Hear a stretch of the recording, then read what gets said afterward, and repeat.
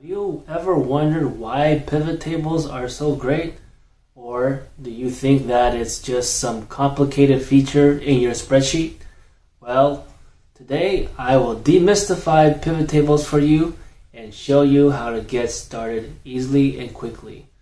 Pivot tables can save you a lot of time and help you to understand your data in a dynamic way. Plus, you can always visualize the result in the chart. Today, that's what I'm going to show you in this video. My name is Michael, and I'm with Office Nifty. And stay tuned, and we'll just jump right into the tutorial. We'll get started with this example spreadsheet that is called pivot.ods. The file is actually available on LibreOffice Help website, which you can download yourself and use to follow along. This is the web page that I'm on, and I'll include this web address in the video description below so you can access it there as well to follow along. And to use the example file, all we have to do is right click on this file icon and click Save Link As. And once it's saved onto your download folder, you can go ahead and open it up and you'll see the file within LibreOffice Calc.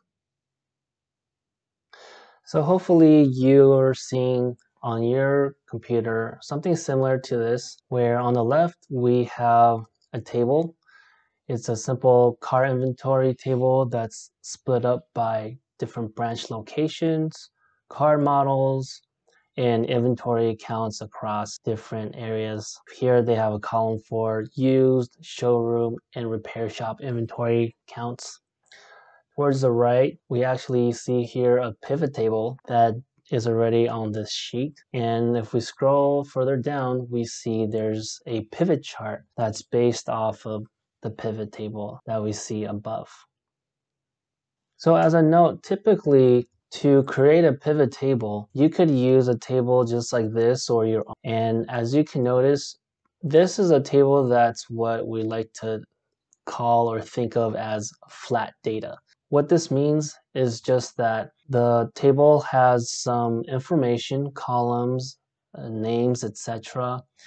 But as you can tell, there isn't any information such as subtotals or percentages, averages, or any sort of analytical data in there. Now the nice thing with pivot tables and what it can do for you, as we can see here, is we could get the sum of different values based on how we organize the pivot table. And there's also advanced capabilities such as being able to do averages and other mathematical functions if we wanted to. There are quite a number of advantages when using the pivot table. Uh, first of all, it's pretty easy to get set up and going, which I'll show you soon. But also the functionality that comes with it makes it very easy to sort of analyze the data that you have in your table and allow you to quickly get useful information out of your table. Okay, so let's actually start to create our first pivot table. To begin, what we need to do is select the table that we want from the first cell to the last cell. So here on my keyboard, I'll press the shift key and left click to select the whole range for the table. Once we have the table selected, we can go up to the menu and click on insert and choose pivot table. Here the current selection is already picked for us, then we can hit OK. Now we see the pivot table layout wizard. This allows us to set the columns and rows for the pivot table. I'll just move this wizard aside so I could look at the existing pivot table and try to recreate it. So we can see that the pivot table has model, and the different inventory counts. In order to recreate that, I'll go ahead and put the car model into the row fields.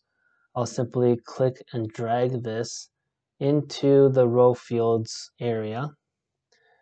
And then for the different inventory areas, I will click and drag them. And for the different car inventory columns, I'll click and drag them into the data field. So the showroom comes here, also the used and the repair shop inventory accounts. And one thing also is there is a filter.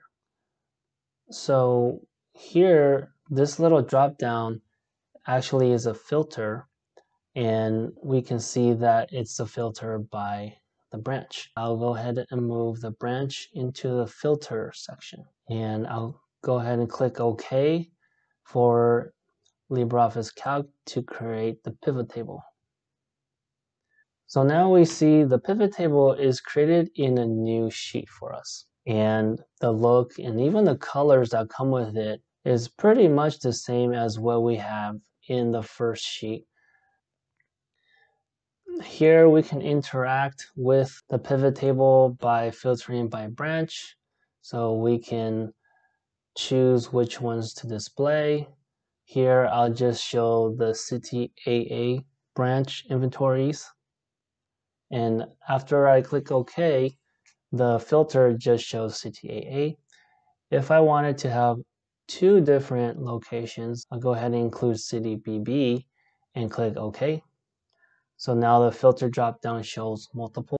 So we can just go back and have it show all again and click OK. So from here, if we wanted to adjust the pivot table, we can always return back to the layout pivot table wizard by right clicking on the pivot table and clicking on properties. Here we can actually adjust more of how the columns and rows are and there's quite a lot of advanced features as well. If we took a look at the options and the source and destination, this allows us to fine tune the pivot table more as we desire. For now, I just leave the pivot table as is. And maybe in the future video, I could get into some of the more advanced features. I'll go ahead and just click cancel.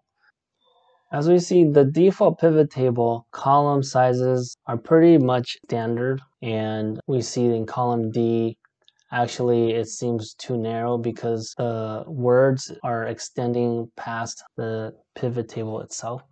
So one easy way to auto resize the columns is just to select the columns that we want to resize and double click on the border of the column as we see the mouse cursor has changed and I'll just double click here. Then we see that it auto resizes the columns for us according to each column's text. Now let's see how we can create the pivot chart. To do that, we could just click on the pivot table and then go to the menu, click insert and choose chart.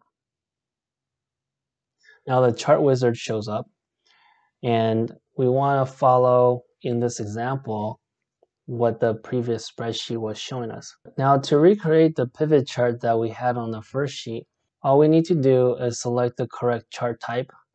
In this wizard, it already by default chose a column chart for us. Then all we need to do is go to the chart elements and type in some of the titles and axis information to match what was on the first spreadsheet. So for the title, we had car inventory. Subtitle was the month and year. X-axis was models and the y-axis was count. So as we see, when we typed in the information, the chart actually updated on its own so we're seeing car inventory as a title and a different axis names already. Here I can click finish and voila, here's our pivot chart.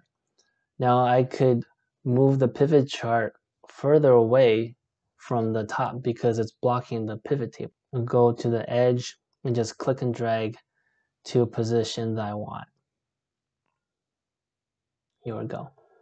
And if you remember, the pivot chart on the first sheet actually had a background color. So I'll go ahead and return to the chart I created and we can right click on the pivot chart, choose edit. And as you can see, the top toolbar has changed. And what I want to go to now is click format selection button. Here in the chart area, I can go ahead and just pick a color and it shows the active and new colors. I wanted to now take the color I chose, then I'll click OK. And now we see our pivot chart has a new background color. And that's all there is to it. This is very much the similar chart in shape and size to what the original was on the first sheet. So that was a quick and short tutorial on how to create a pivot table and pivot chart. As we went through the different wizards, as you could tell, there are a lot of different options and ways to customize the pivot table and charts to your liking. So I encourage you to play around with it on your own. And if you have any questions related to the spreadsheet or to the pivot tables and charts, feel free to leave a comment below. Thanks for watching, and as always, stay nifty.